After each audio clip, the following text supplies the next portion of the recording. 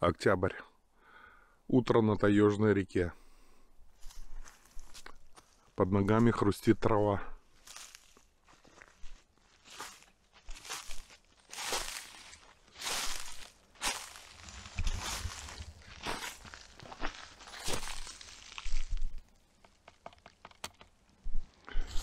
Это лед. Вчера еще там была водичка. Идем к реке, посмотрим обстановочку. Конечно, это было авантюрой в некотором смысле залезть в таежную речку в октябре месяце, когда может ударить мороз, ее может просто заморозить, и тогда с нее выбраться будет достаточно непросто, если у вас нет вот таких аэросаней. Ну что, земля застывшая.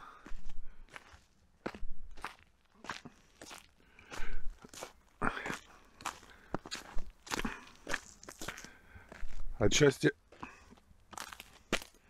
один берег тоже покрылся корочкой льда. Ну, будем ждать, когда он немножко потает, чуть-чуть потеплеет, выйдет солнышко и попробуем порыбачить. Хочу закрыть сезон здесь. Это моя традиция. В этом году были непростые рыбалки. Можно сказать, очень тяжелые, но познавательные. Была сложная рыбалка в июне, хоть и трофейная, но осталось много вопросов. Что происходит с природой, что происходит с водой. И эти вопросы еще стали более актуальными после того, как я в этом году стал ездить в Верховье Аби. Э, одна рыбалка оказалась просто очень интересной и добычливой. Хотя мы мало ловили, но половили очень качественно. Две другие рыбалки оказались архитрудовыми и э, ввели меня в какой-то ступор. Мы находили очень мало рыбы для такой реки. Э, рыба куда-то делась, и это не касалось только щуки. Это касалось и, и язя, и окуня. Э, просто рыбы куда-то исчезли. И если вот я скажу, что для тех, кто живет и ловит на Аби, что не было ни одной поклевки язя, но могут даже и не поверить. Но это было действительно так. А в августе мы куда ни кинь, везде этот язь, грязь, как его еще здесь называют местные жители, клювал чуть ли не на каждом забросе. И буквально 2-3 недели ни одной поклевки за 5 дней. Крайняя рыбалка на Верховье э, в Томской области э, тоже меня впечатлило. Очень интересные места, очень рыбные места. По сути, э, такой оазис обский для щуки. И, в общем-то, мы ловили на хорошо оборудованной лодке. Э, у нас даже был паноктекс. И мы работали с ним, забрасывали прибанку прямо под нос рыбы. Рыба поворачивалась и просто уходила.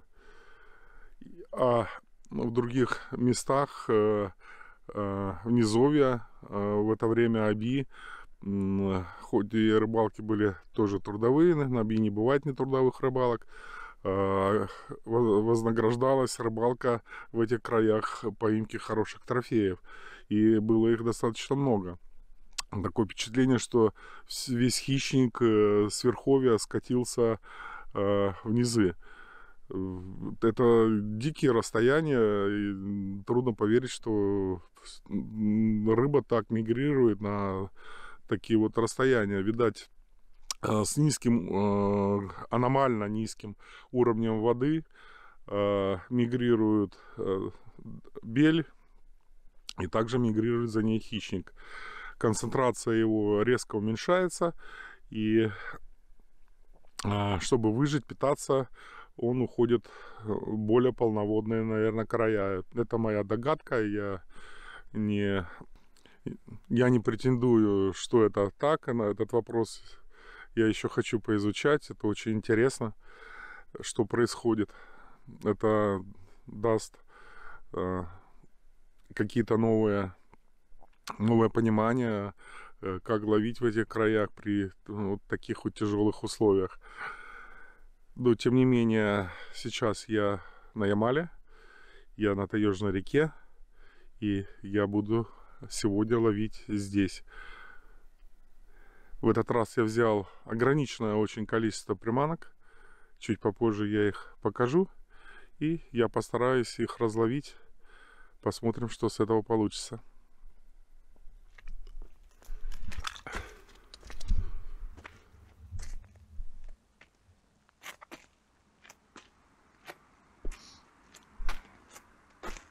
Передвигаться мы будем на лодке ПВХ, потому что нынешние перекаты здесь не пройти. С водометным двигателем лодочка. А сопровождать меня будет э, несменный наш местный, как говорят сейчас модно, гайд или гид Андрей. И вот мы вдвоем двинемся в некоторые места, где а, ранее мы доходили и пробовали там ловить щуку. Но это было один раз и в другое совсем время. Так что пойду я собираться. Надо готовиться, продуматься, как минимизировать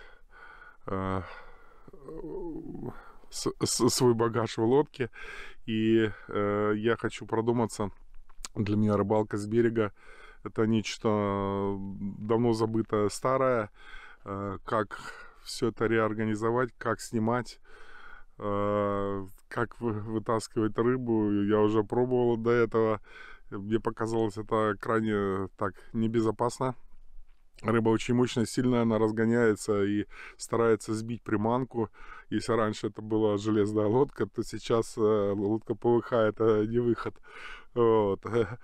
Но ты стоишь в ПВХ сапогах, и это тоже, надо сказать, э, очень опасно, если она всадит крючок сквозь сапоги в ногу, мало не покажется. Поэтому я как-то думаю приспособить подсак для этих целей а, ну, включать камеру, подсачивать, вытаскивать приманку, показывать рыбу. Это все первый раз э, в такой э, ситуации. Я сейчас вот буду думать, как это все сделать, чтобы было наиболее интересно и смотрикабельно. Пойду заниматься работой. Рассвет. Сегодня ожидается хорошая ясная погода. Будем надеяться, что от солнышка будет тепло и рыбка активизируется. Ну а теперь посмотрим, чем я буду ловить. Сегодня у меня будет лизард до 200 грамм, 8,6. До этого я ловил с берега короткой палкой и не добрасывал до нужных точек. Катушка у меня BFT Instinct семерка. Я уже ей отловился хорошо. Мне нравится. Катушка достаточно надежная. Плетеночка у меня Veriwas номер 10. Я ловлю толстым шнуром, особенно осенью. И это оправдывает себя. Иногда нужно там выдергивать приманки зацепов. И не церемониться с крупной рыбой, не давать ей гулять по локальным точкам, ибо это может быть крайняя рыбка. Погуляв там по месту, где концентрируется другой хищник, она ее просто может тупо распугать. Катушечки у меня запасная плетеночка, шпуля запасная. Здесь плетеночка потоньше. шестой номер.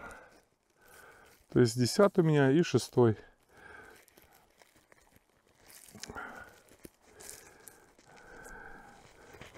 Это у меня про запас. Ловить я буду поводком хард собственного изготовления. Поводок флюровый 1.17. Как показала практика, что щуки такой толщины 1.17 перекусить достаточно сложно. Неоднократно у меня э, поводок попадал в пасть крупных щук. И пока ни одну я не потерял. А вот 1.05 в прошлый раз у меня щука перекусила и мышь двухсоставная, кастомная, благополучно ушла вместе с рыбой. Так что 1.17 это более-менее гарантия на то, что все будет с трофеем хорошо. Сейчас я все намотаю, привяжу. Привязку плетенки я уже не буду показывать, просто достаточно прохладно несмотря что так э, одет, но я э, из домика и целую ночь топилась печка. Э, чувствую, что тело очень нагретое, и пока мне еще не холодно, но пальцы уже мерзнут. В общем, когда я подготовлю спиннинг, мы посмотрим приманочки.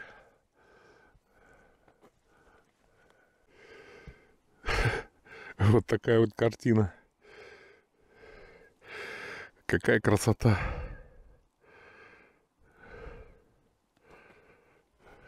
Но я надеюсь, что лед отойдет через пару часиков, и мы отправимся в путь. Это я испытываю лед.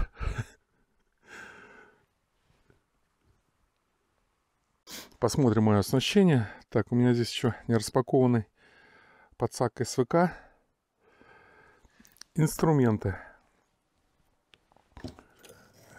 БФТшные плоскогубцы. Я их смазал, чтобы они не застыли у меня. У меня они с буйками. Иногда падают в воду. И чтобы их хотя бы можно было за что-то ухватиться и вытащить. Мощный зельник. Хукаут. Бессменный инструмент, который в моем арсенале. Кусачки. У меня БФТ, тоже смазанные. Механический раполовский безмен для взвешивания рыбы. На всякий случай или гриб. Обязательно я беру с собой швейцарский нож, в котором есть практически все, что нужно. Ну и перчатки. Я ими не пользуюсь. Я беру руками. Перчатками не пользуюсь, хотя они у меня всегда с собой. Так, коробочка коробочке у меня батарейки запасные, подгрузки, там всевозможная мелочевка и всевозможные мульки, штучки, о них поговорим чуть позднее. И плоскогубчики для кольчиков, для колец.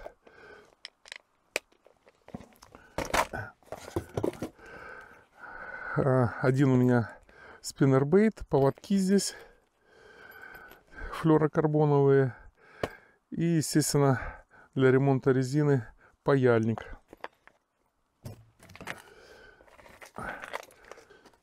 И обязательно запасные крючки. По приманкам. Ловить я буду на резину джаб машин нашу Резина отлично себя показала. Мягкая, рыба ее охотно заглатывает. Ну и в качестве разбавки будет 13 фишинг. Вот такой шат, лещ. Эта приманочка у меня вот в Верхове Аби хорошо сработала, принеся пару хороших рыб. Так что я ее тоже хочу половить ей и посмотреть, как на широкотелые приманочки будет реакция щуки. Так, по расцветкам. Запасные у меня хвостики. По расцветкам, как, как все обычно. У меня уже отработанные есть расцветки по резине.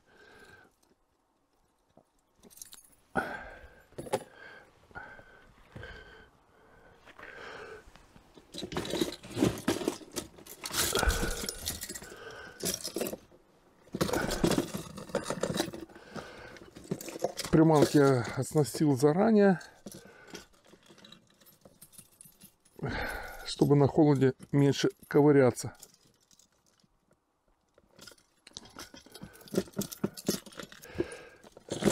Вот это издержки того, что все с крючками, все перепутывается. Ну, так как приходится ездить на перекладных, все минимизировать по весу. Так, ну и две у меня еще запасных, так сказать. Ну вот резина, с которой мы будем работать. Так, по твердым приманкам. По твердым приманкам.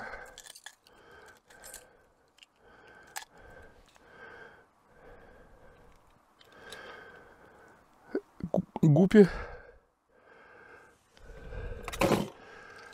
Всегда его беру с собой, гупи обязательно.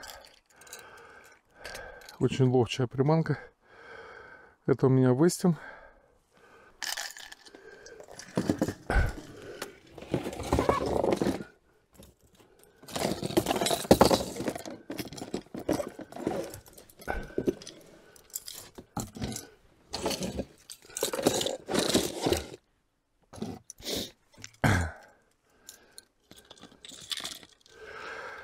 Ну и два дайвера. Ливинстон. Отлично себя показали на рыбалках в этом сезоне. И я с удовольствием на них еще продолжу ловить.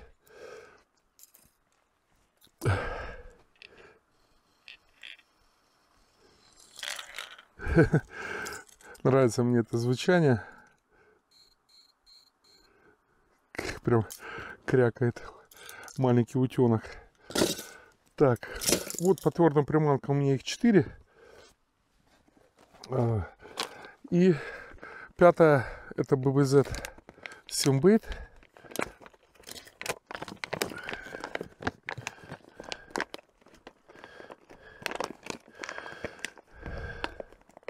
Очень давно не ловил на свимбейты. И мне очень крайне захотелось половить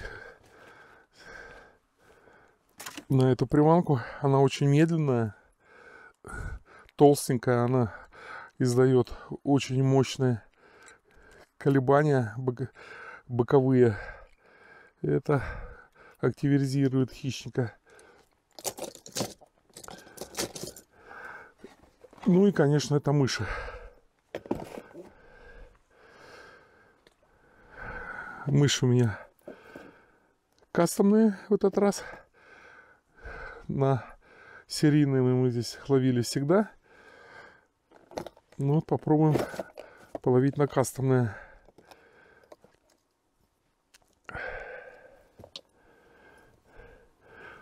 Вот такие мышки.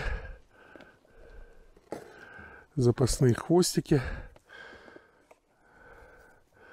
Такие вот разные расцветки. Двухсоставные. Ну и взял одного бобра на всякий случай. Вот бурундук, мастер прошлый раз был со мной на рыбалке, поймал восьмерочку на этого бурундука. Так что